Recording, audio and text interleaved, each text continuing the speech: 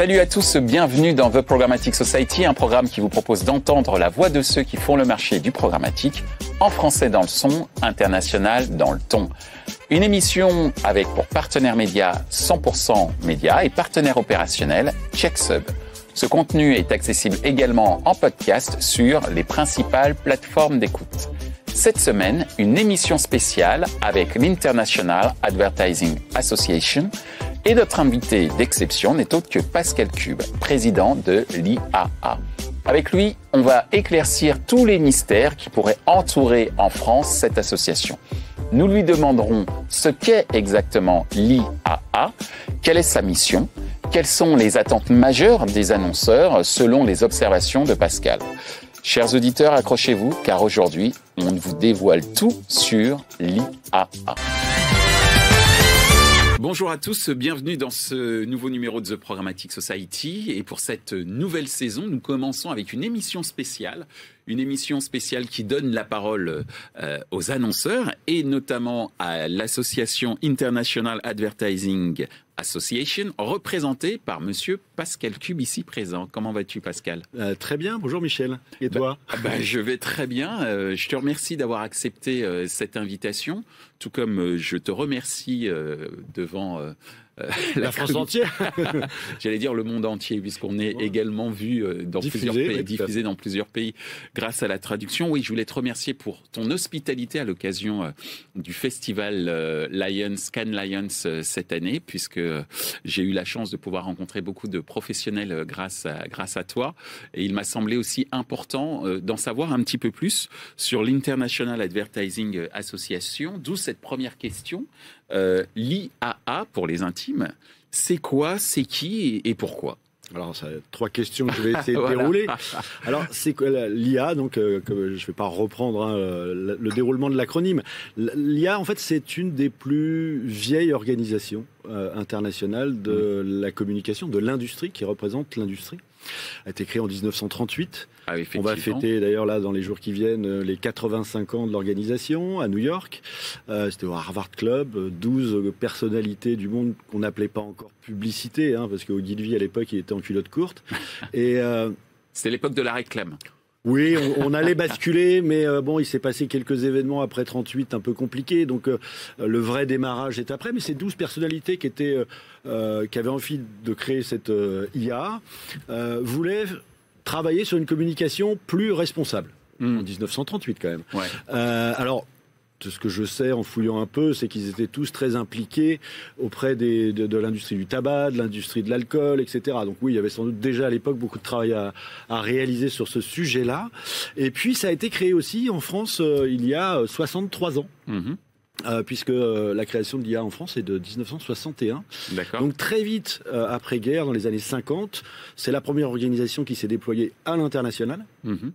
Et euh, pour monter à la fin des années 90 à pratiquement une centaine de pays représentés dans le monde, euh, de différentes manières, euh, l'IA est a pour vocation, sa mission, c'est d'être la boussole du métier. On appelle ça en anglais the global compass. Mhm. Euh, alors, montrer la bonne direction, c'est quoi? C'est montrer les bonnes tendances, les bonnes innovations, les bonnes pratiques. Mhm. L'avantage, pour le coup, c'est que comme on a euh, du contenu qui vient du monde entier au travers des différents, euh, ce qu'on appelle nous des chapters, les chapitres mhm. nationaux, on est alimenté en permanence. On a beaucoup d'événements, on va en reparler, qui ont lieu localement ou de, sur un niveau international. Donc, euh, tout ça est très positif, d'abord, mm. ça va dans le sens. Et puis surtout, la particularité, au-delà d'être international, c'est aussi une organisation globale. C'est-à-dire que dans l'industrie, c'est la seule qui représente tous les sujets de l'industrie. Marques, médias, euh, agences, euh, tech, on, a et au-delà de ça même d'ailleurs. Et c'est pour ça donc des sociétés d'études, etc. Tu vois donc.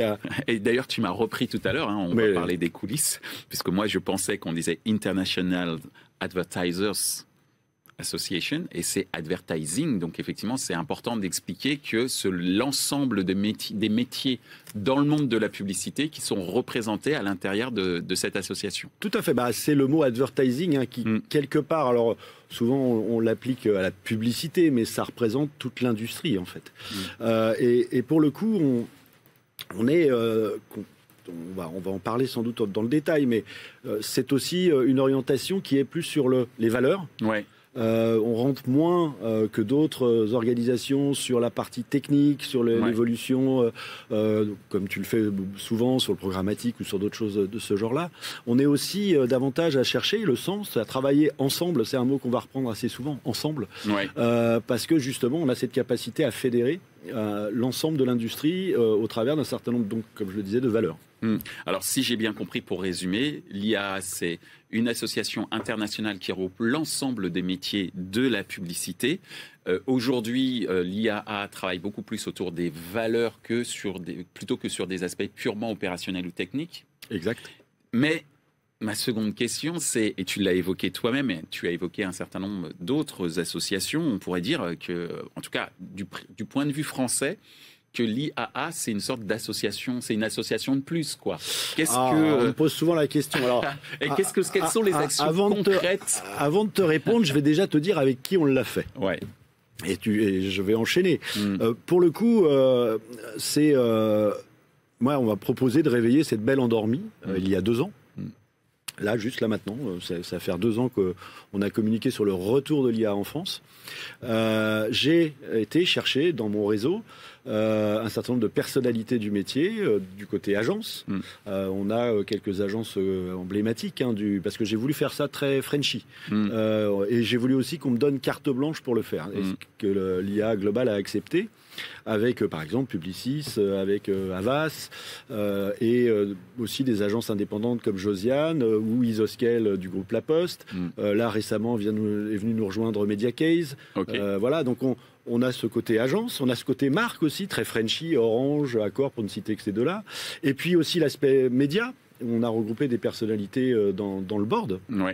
Conseil d'administration en français dans le texte, euh, qui, euh, qui a les médias comme la presse, hein, la presse quotidienne régionale avec la régie 366, Média Transport, et, et, Brut pour le digital, donc parce qu'il fallait avoir un petit peu tous les, toutes les tendances. Et puis on a ajouté aussi des personnalités. Alors, je, prends l'exemple de Thierry Jadot, hein, qui, a, travaillé aussi bien sur les marques euh, à, haut niveau que sur, euh, sur les groupes de communication, euh, mais aussi des associations. On a intégré l'associatif avec Act Responsible dans, le, dans le board. Donc tout ça, et je ne vais, pas, je, veux pas rentrer et énumérer qui est là, mais il y a effectivement 16 personnalités importantes, pour ne pas dire influentes du métier, qui ont été intégrées au board.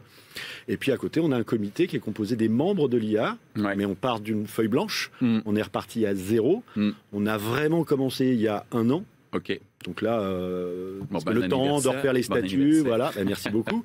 Il a fallu relancer la machine, trouver des membres pour financer. Hein. Je rappelle que c'est une association, mm. donc euh, elle se finance au travers des memberships euh, donc de, de, nos adhérents. Est-ce que ça veut dire que tu fais une sorte d'appel aussi à, cotisation, en tout cas à adhésion? Que Tu me donnes l'antenne. Pourquoi pas? C'est ouvert. Ouais. On valide chaque euh, adhérent mm. euh, avec le board euh, et, et on valide ensemble aussi avec le comité tout ce que nous faisons ensemble. C'est-à-dire que les, bien sûr les adhérents ont aussi leur mot à dire au travers du comité exécutif de l'IA qui, qui là aussi vient de se mettre en, en place.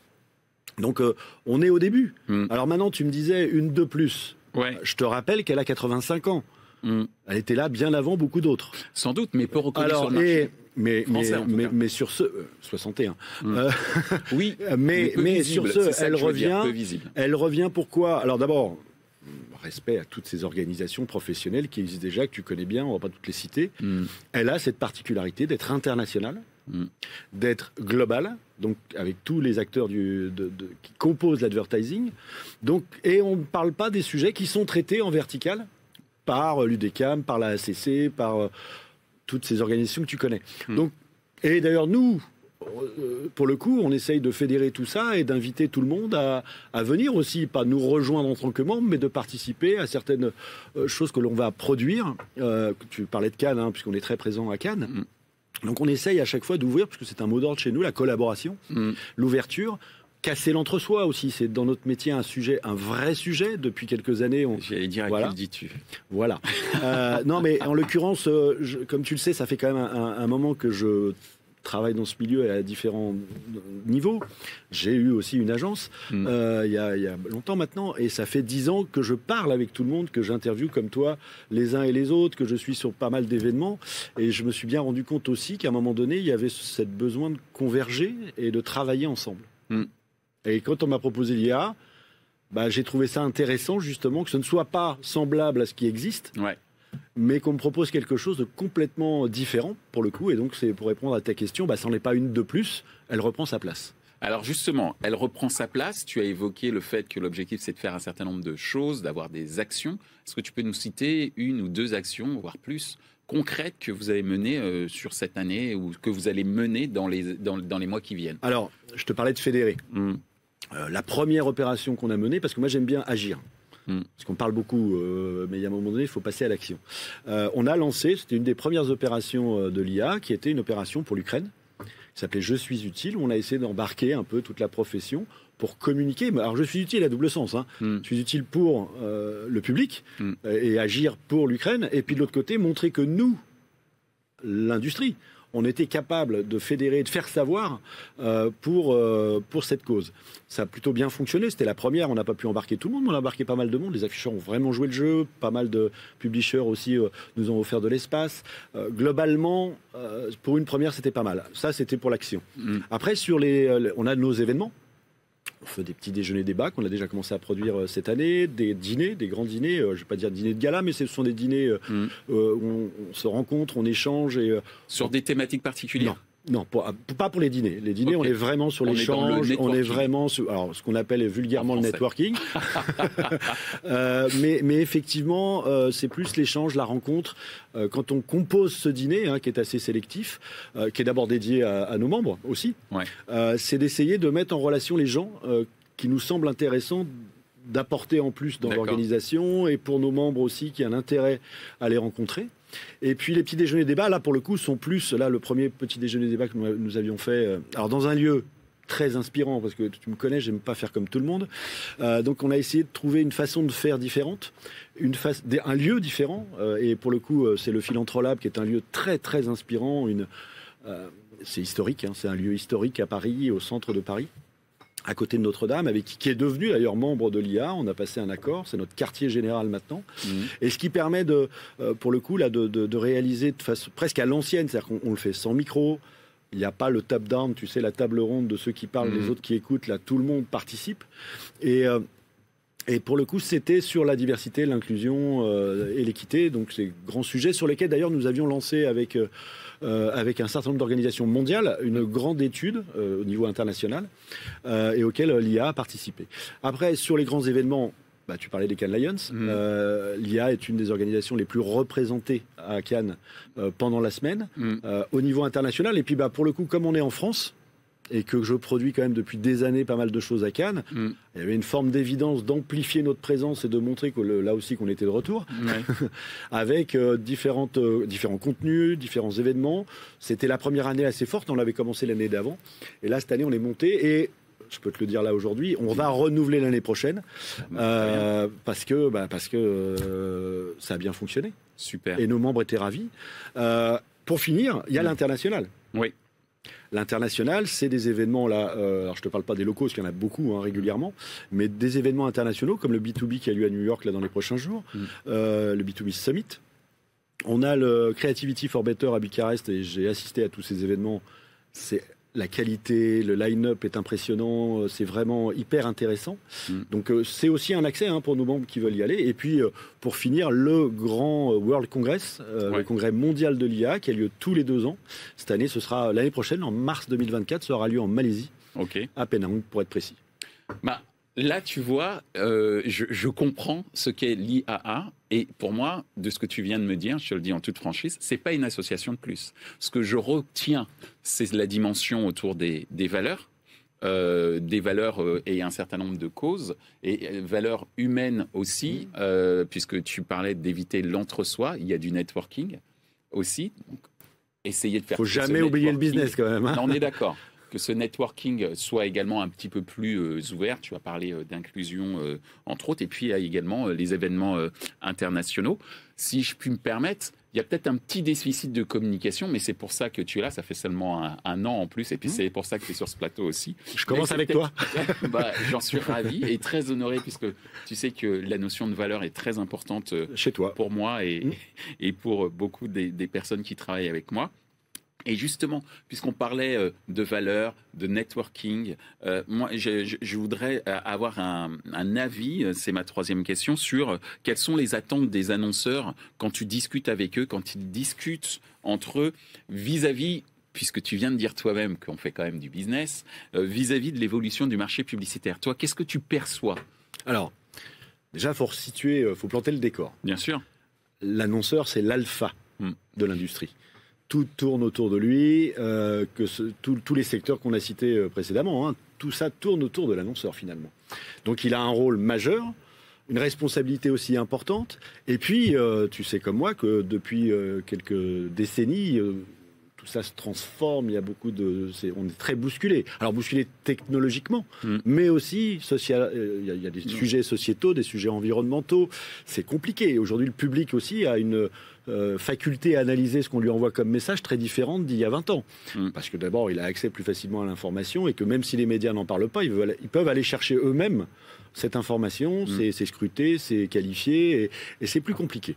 Donc une fois que j'ai dit ça, euh, l'annonceur a besoin j'ai presque envie de dire, plus qu'avant encore, mm. de s'entourer d'expertise, de s'entourer d'une vision extérieure à, son, euh, à son produit, que ce soit d'ailleurs marchand ou non marchand, et, et l'évolution, euh, si tu veux, de ce marché, c'est qu'en fait, tout le monde travaille de son côté, et, positivement.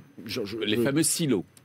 On revient aux silos. Hmm. Euh, et je pense que euh, c'est un vrai sujet, y compris pour l'annonceur, c'est à un moment donné que cette parole que l'industrie veut porter pour elle est très attaquée, voire parfois même martyrisée. tu vas la libérer. délivré.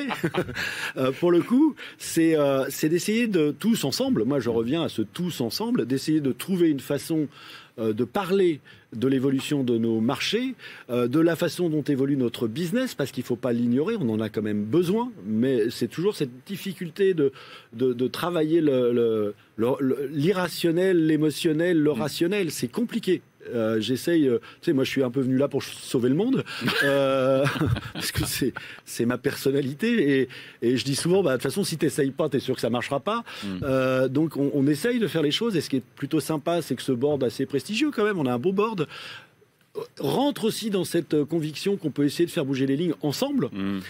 d'où cette ouverture aux autres.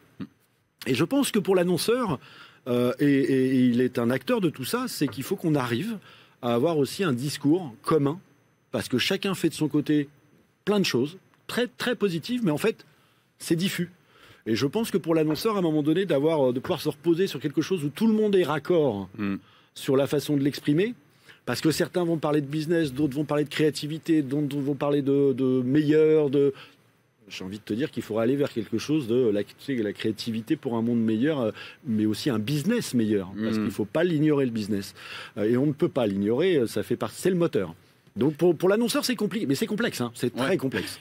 C'est-à-dire que tu veux, tu veux, je te dis, si je savais répondre parfaitement à ta question, je monte une agence et je le propose à tout le monde. Bon, en tout cas, ce que je retiens sur les attentes des annonceurs, c'est aussi avoir, par l'intermédiaire de l'IA, une meilleure perception, une, possibilité de d'entendre, meilleure écoute aussi euh, euh, et, euh, de, de, ce qui se passe à l'extérieur de ces différents silos de chaque métier, mais également de ce qui se passe dans la société pour pouvoir le reproduire en termes de produits, de services attendus par les consommateurs ou même par les annonceurs eux-mêmes et diffuser des messages qui vont dans le sens dans le bon trend.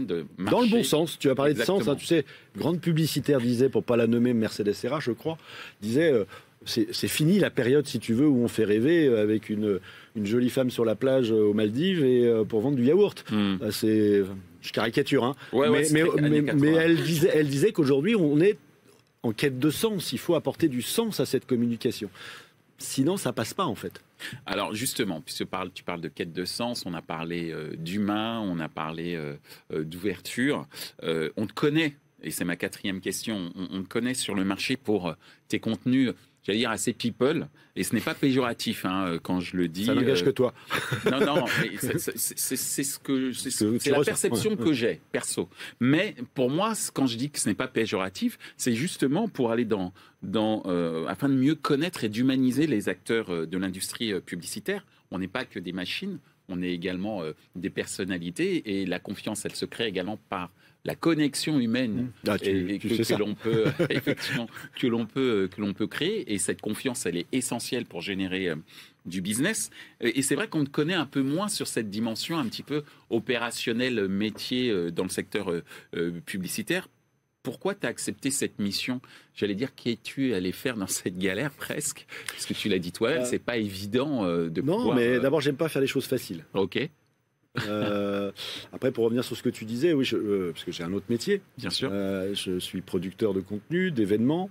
Ça fait longtemps que j'ai eu une agence il y a longtemps, parce que j'ai travaillé, ça fait plus de 20 ans, hein, je travaille dans le métier, mais j'ai 20 ans d'expérience ailleurs. Mm. ce qui me permet aussi d'avoir une vision différente de cette industrie. Mm. J'ai vu ce que faisaient les autres dans d'autres industries et je me rends compte que cette industrie a capacité énorme de transformation de, de la société. Hmm. Euh, la capacité à faire savoir, la capacité à, faire passer des messages. On l'a même vu d'ailleurs sur certaines campagnes qui ont amené à terme à changer des lois positivement. Hmm. Euh, donc ça, ça m'intéresse. Comme tu disais, je, m'intéresse aux gens. Et j'ai rencontré depuis euh, maintenant plus de 20 ans un certain nombre de personnalités dans ce métier. Euh, il y a des bons et des mauvais comme partout, mais de, gens brillants, de gens intéressants, de gens avec des capacités dans leur, euh, dans leur domaine d'activité incroyables pour faire euh, passer des messages, pour créer des campagnes. Et donc, je suis fondamentalement convaincu que cette industrie a la capacité, ensemble, on revient à, ça, à vraiment faire bouger les lignes. Mmh alors, c'est un long travail, tu sais, tout, tout, tout ça je pense qu'on a une problématique, hein, c'est que le, monde change plus vite que nous, on est capable de le faire. Euh, on a dû passer déjà 20 ans à se transformer par rapport aux nouvelles techno. Euh, j'ai envie de dire qu'aujourd'hui, si tu t'es pas transformé, euh, c'est que tu es en mort artificielle, tu es, en survie artificielle. je pense qu'il faut passer, de mon point de vue, à autre chose. C'est ce que j'appelle la mutation qui est plus personnel, plus individuel. Euh, donc, un, euh, tu sais, on parle souvent d'engagement. Euh, il y en a plein, hein, des engagements. Moi, j'en entends depuis des, années, les engagements de tout le monde. L'engagement, c'est une promesse. Oui. Je pense que maintenant, il est temps de s'engager. C'est différent. Donc, on passe à l'acte. On, crée les choses concrètement. On a, on, peut continuer à parler, mais il y a un moment, il faut faire les choses. et quand tu disais pourquoi je suis venu dans cette galère, bah, c'est tout ça. J'aime les gens. Euh, en plus, on m'a donné carte blanche, donc euh, j'essaye de d'oser, de faire, de produire des choses différentes. Euh, aller là où on ne m'attend pas, j'adore ça aussi. Euh, mais c'est pas que, tu vois, je ne veux pas concentrer le, sujet. C'est que j'aime bien aussi embarquer les gens. Mm. Euh, et là, pour le coup, j'ai embarqué 16 personnes déjà au niveau du board. J'ai embarqué maintenant plus d'une douzaine de, membres hein, qui sont mm. venus nous rejoindre et d'autres qui sont en cours de, euh, pour l'année 2024. Donc, et puis autour de ça, j'ai comme une organisation mondiale. Euh, ça fait euh, quand j'ai eu mon, agence hein, il, y a, un petit moment maintenant, euh, bah, j'avais aussi une dizaine de, pays sur lesquels je travaillais. J'adore ça et ça te donne une vision, une ouverture. Et c'est aussi ce qu'apporte l'IA. Hmm. C'est une vision et une ouverture différente puisqu'on est mondial. Hmm.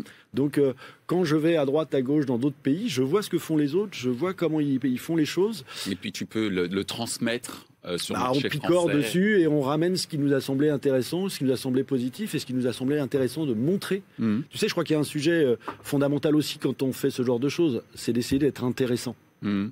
Ce qui n'est pas simple.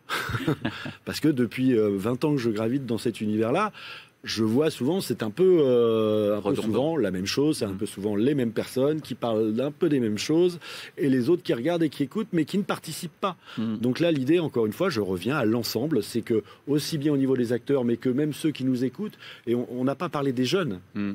C'est un gros sujet. Hein, euh. C'était la question que j'allais te poser justement. Mais les jeunes, c'est un sujet important pour nous, puisque d'ailleurs dans nos valeurs, il y a l'éducation. Et c'est pas un mot, c'est concret. On a 41 41 écoles dans le monde qui ont le certificat IA.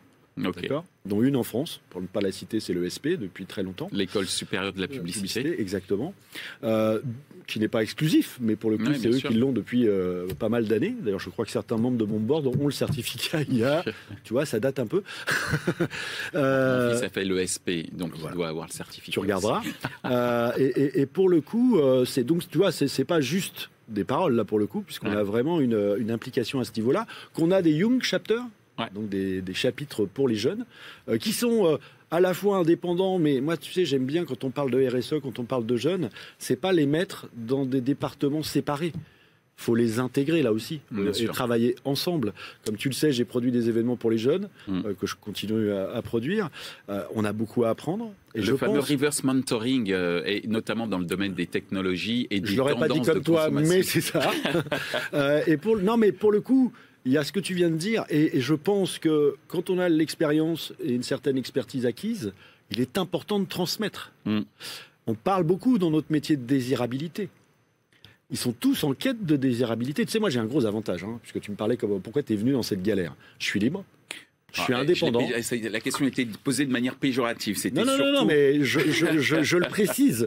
Euh, parce que d'abord, ça me donne une grande capacité euh, je ne suis pas lié, tu vois, comme beaucoup d'organisations, le président est euh, euh, dans un groupe. et un groupe qui représente son métier. Hmm. Moi, pour le coup, je représente personne et tout le monde. et je, je, mets une petite parenthèse, je suis bénévole. Donc, cette liberté, elle est totale pour le coup. on ne peut pas me reprocher de profiter de ça je, suis convaincu, je suis euh, totalement impliqué, je continue mes, activités parallèles et je parlais de cette euh, mutation, je l'ai faite aussi de mon côté parce que tu peux pas dire aux autres bouge, fais des trucs, machin, etc. Change mm. et pas le faire toi-même. Mm. Je comprends totalement. On en arrive déjà presque à la fin de, l'émission. C'est toi qui le... Et euh, comme tu le sais, dans cette émission, on pose euh, souvent à la fin une, petite question euh, subsidiaire, une question surprise avec nos partenaires 100% Média. C'est la question 100% Média.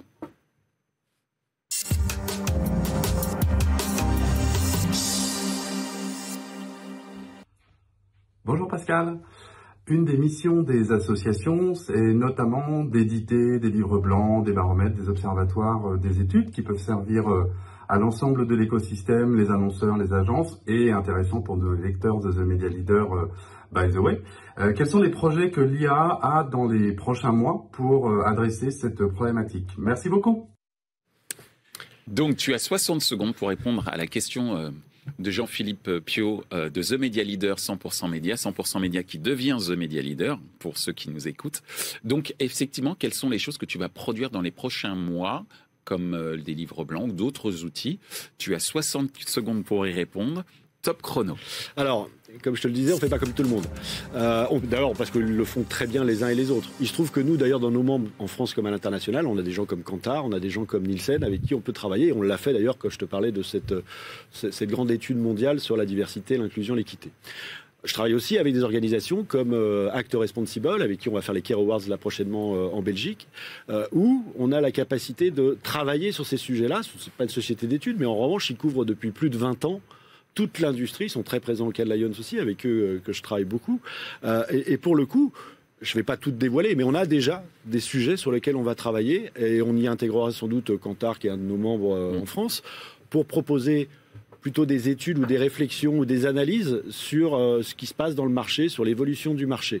le livre blanc, les uns les autres le font très bien. Comme je te dis, on ne rentre pas forcément dans le détail technique de, tous les sujets de chaque de chaque verticale. Mm. Mais euh, oui, il y a des choses de prévues, mais je ne vais pas les donner tout de suite parce qu'on est, on est dessus. Alors, Donc, en tous les cas, il va y avoir des choses de produites et de la communication euh, prochainement. Au niveau national et au niveau international. Bah merci euh, Pascal. Euh, je crois que on, a eu un petit problème de chrono, mais c'est pas grave. Euh, tu as dans répondu, tu as largement répondu dans les temps. En tout cas, je te remercie beaucoup Pascal pour ton engagement. C'était le mot clé que tu as utilisé tout à l'heure. C'est vrai que tu es dans le tu es très connu dans le milieu de la publicité et la dimension humaine que tu apportes à ce marché est très importante. Elle se concrétise à travers ta présidence autour de l'International Advertising Association. Donc je te remercie d'avoir aussi accepté euh, euh, notre invitation pour parler euh, de ce que tu fais et de le parler en France et, à l'étranger. Et j'espère que nous pourrons également à notre humble niveau, humble position, répondre à certaines sollicitations si tu le juges utile, puisque effectivement la notion de valeur est très importante pour les équipes avec lesquelles je travaille et pour moi-même. Donc merci de nous avoir expliqué ce qu'est l'IA. Ah. Écoute, j'espère avoir été assez clair et merci à toi. J'ai presque envie de te dire rendez-vous à Cannes ah oui, euh, au mois de juin prochain. Avec grand plaisir. Merci, merci Pascal. Michel. Au revoir. Au revoir. Ainsi s'achève ce numéro spécial autour de l'International Advertising Association. Ce contenu est accessible en podcast sur les principales plateformes d'écoute. Merci à notre partenaire média 100% Média, The Media Leader, et notre partenaire opérationnel, CheckSub, pour le sous-titrage via intelligence artificielle. Merci également à l'ensemble des équipes d'Altis Media pour la réalisation de ce programme.